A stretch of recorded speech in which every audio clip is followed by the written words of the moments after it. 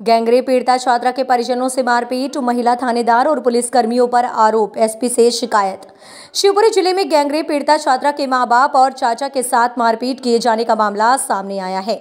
गुरुवार को इसकी शिकायत पुलिस अधीक्षक कार्यालय में दर्ज कराई गई है। गैंगरेप पीड़िता छात्रा के माँ बाप और चाचा के साथ मारपीट किए जाने का ये पूरा मामला भौंती थाने का है। आरोप है कि गैंगरेप का शिकार हुई छात्रा के परिजनों से एक महिला पुलिस अधिकारी और कुछ पुलिस कर्मियों ने कमरे में बंद कर पट्टों से मारपीट की है। घटना की शिकायत पीड़ित परिवार ने एसपी ऑफ़िस में दर्ज कराते हुए कार्यवाही की मांग की है।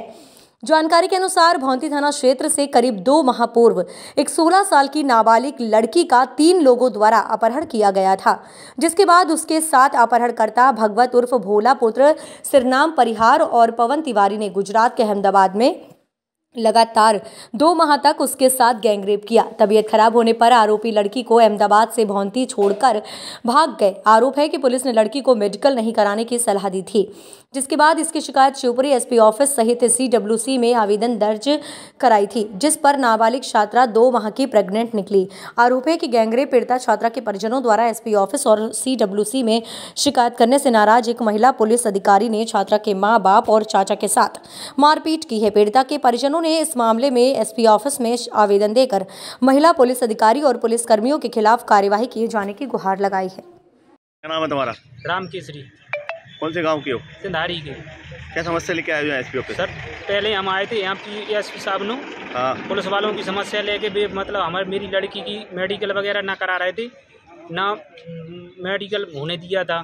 उस समस्या में एसपी साहब ने कह दिया था कि जाओ दोबारा से सब करवाएँगे पुलिस वाले। हम दोबारा से थाने गए तो थाने जाकर हमको बैठ, पहले लेके आकर बैठो। बैठे रहे, हम बैठे रहे और फिर जिसके बाद में उन्होंने हमारी लिखा पढ़ाई करने के बाद पार सर मैडम आ गए मैं मोबाइल रखे तो जिम में। जिम में मोबाइल रखे पे मुझ पर एक पुलिस वाला, बिना ड्रेस वाला, मुझ पर कूद कर गिरा और बोले, तुम वीडियो बना रहा है। मैंने कहा मैं नहीं बना रहा हूँ वीडियो। फिर जिसके बाद में मैं बाहर को भगो बाने मार भी दो रहा हूँ तो बाहर को भगो, बाहर आने के मैं गलो पकड़ लो, गलो पकड़ के वो गाली दी और मेरे भैया को मुँह बचाने, भैया आओ तो भैया को पकड़ के हाथ पर उठाकर और भीतर ले गए। जोन कमरे में, थाने में सीसी कैमरा नहीं लगा है, उस कमरे में इसमें पट्टे और डंडे और जूतों लातन का इतना कम से कम आध घंटा हमसे कहें, अब एक घंटा और रुको, एक घंटा और रुको, मैं बाहर ऐसा जाकर खिड़की में और भैया खड़ा दिखाना। तो मैंने कहा, सो ये मुझे रोत मिला। इसको मैंने टेरा और किसको मारा था? और मेरी मैडम को मारा है मैडम ने ऐसा चांटा दिया है पारो सर मैडम ने और एक लात दी है सो इधर पैर में लात मुंडे की लगी है सो उधर बीच सूजा है और है ना कनपटी में रापट दी है सो इधर कान में मतलब झंझनी सी आज भी है।